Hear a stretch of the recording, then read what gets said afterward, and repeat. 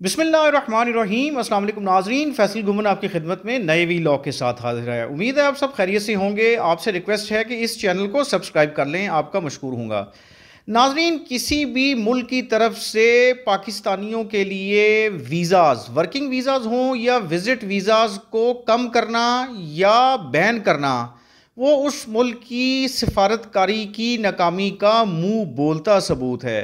यानी foreign office और ambassadors और सफ़ीर और एक लंबी चौड़ी फ़ौज जो दुनिया के तकरीबन सारे ममालिक एक्सेप्ट इसराइल या बाकी मुल्क छोड़ दें कुछ ऐसे, जिनमें पाकिस्तान के सफारती ताल्लुक नहीं हैं। वहाँ पे उनका काम पाकिस्तानियों को फैसिलिटेट करना और उन मुल्कों को कन्विंस करना कि पाकिस्तानियों को बड़ी तादाद में वेलकम किया जाए, जैसे तरक्की याफ्ता मुल्क करते हैं।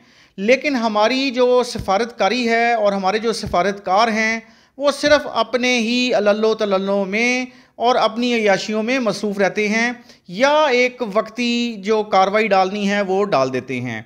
आप यहाँ से अंदाज़ा लगाएँ कि अरब मुल्क जो हैं, जो जीसीसी के कंट्रीज़ हैं, खलीजी ताउन काउंसिल के जीसीसी के, उन मुल्कों में कितनी तादाद में पाकिस्तानी सर्व करते थे, उनकी रिस्पेक्ट होती थी मैं सिक्सटीज़ सेवेंटीज़ की, एटीज़ की बात कर रहा हूँ।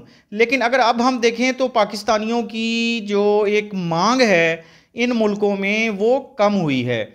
और उसकी वजह ना सिर्फ़ हकूमत की सुपरविज़न ना होना और हमारी जो सफारतकारी है, उसकी कमज़ोरियाँ, ये एक तरफ़ और दूसरी तरफ़ पाकिस्तानी अवाम और पाकिस्तानी जो एक सोच है कि बाहर जाके काम नहीं करना या बाहर जाके अगर काम करना है तो दो नंबरी करनी है। इस वजह से हमारे जैसे पाकिस्तानियों को इन अरब मुल्कों से अब आहिस्ता आहिस्ता निकाला जा रहा है और उनकी जगह, हमारी जगह ऐसे लोगों को लाया जा रहा है जो दयानतदार हैं या कुछ ऐसे मुल्कों से बिलोंग करते हैं जिनकी मीशतें बेहतर हो रही हैं। अब हर पाकिस्तानी बाहर भी जाना चाहता है नाजरीन। हम में से मेजॉरिटी लोग बाहर जाना चाहते हैं। लेकिन हमारे ऊपर कदगने भी लग रही हैं।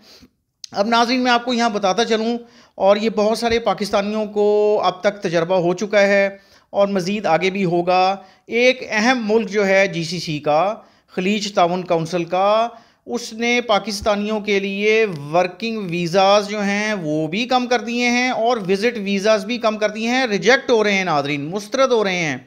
और ये भी इतला है एक कि इस मुल्क ने कोई तकरीबन पैंतीस से चालीस अजला ऐसे हैं पाकिस्तान के जिनकी जो पासपोर्ट पे आता है कि जी फ़लाने ज़िले से आप बिलोंग करते हैं, उनको उन्होंने माइनस कर दिया है कि ना उनको वर्किंग, वर्क वीज़ा के लिए सहूलत दी जा रही है और ना ही विज़िट वीज़े पे।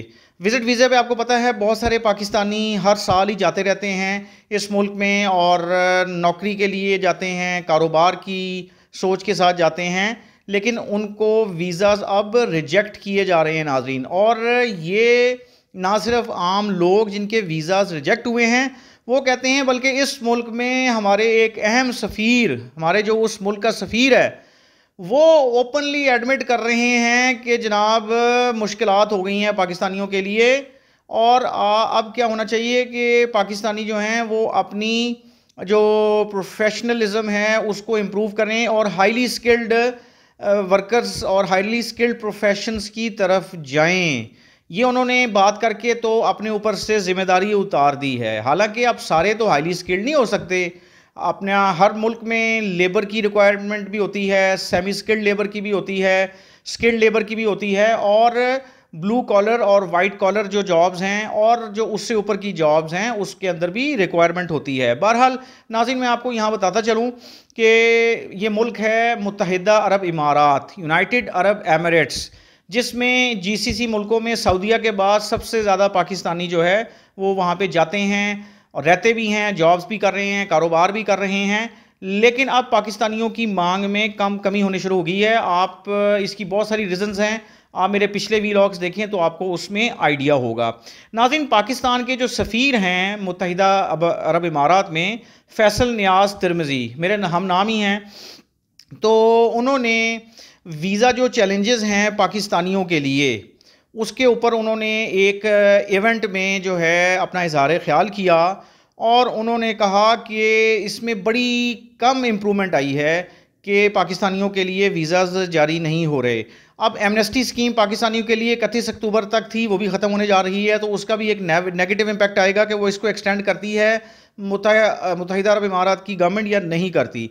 ये रिमार्क्स उन्होंने नाजरीन दिए हैं जो जिटेक्स ग्लोबल 2024 जो इवेंट है वहाँ पे, और उन्होंने ये कहा कि जो बहुत सारे पाकिस्तानी हैं और जिसमें ऐसे भी पाकिस्तानी हैं जिनके स्टार्टअप्स हैं, जिन्होंने अपने कुछ छोटे छोटे कारोबार सेटअप किए हैं, और आईटी छोटे या बड़े कारोबार या दरमियाने दर्जे के कारोबार।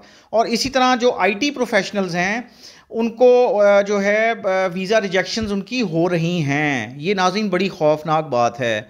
और ये उन्होंने कहा जी कि ये मैटर जो है, वो यूएई की गवर्नमेंट के साथ टेकअप किया गया कि भी पाकिस्तानियों को नौकरियाँ दी जाएँ।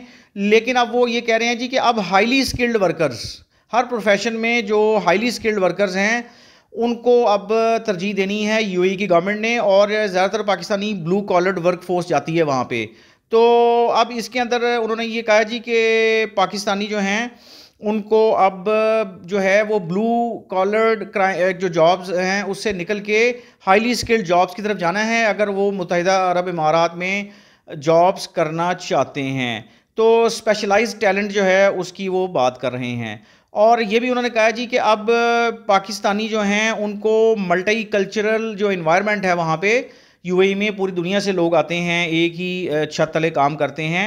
तो उन्होंने कहा जी कि अब पाकिस्तानियों को अपनी स्किल्स बढ़ाने की ज़रूरत है, इमोशनल इंटेलिजेंस और ऑर्गेनाइजेशनल स्किल्स बढ़ाने की ज़रूरत है।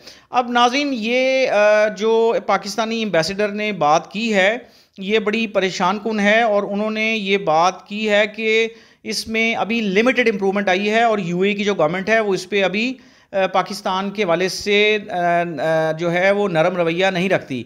लेकिन ये जो बात उन्होंने की है, इसकी निगेशन में या इसके कॉन्ट्रेरी में जो जनरल यूएई के जो कौंसल जनरल हैं, कराची में, डॉक्टर बखीत अतीक अल जो है रिमथी, इन्होंने ये क्लैरिफिकेशन की है कि कोई स्पेसिफिक वीज़ा बैन नहीं है। यूए की तरफ़ से, पाकिस्तानियों की तरफ़ से और ख़ास तौर पे जो सिंध में रहने वाले लोग हैं, उनके लिए कोई वीज़ा बैन नहीं है। और वो ये भी कह रहे हैं कि हर किस्म की सहूलतें पाकिस्तान के जो बिजनेसमैन हैं, वर्कर्स हैं और जो मेडिकल ट्रीटमेंट यूएई में दे, लेना चाह रहे हैं, उनके लिए कोई कदगन नहीं है, ये उनका दावा है।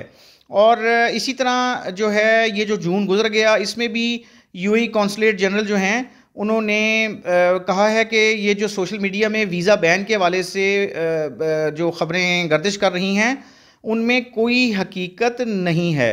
और ये भी उन्होंने कहा जी कि वीज़ा सेक्शन ओपन है पाकिस्तानियों के लिए और हर किस्म के एज के लोग अप्लाई कर सकते हैं और वो यूएई ट्रैवल कर सकते हैं जॉब्स के लिए।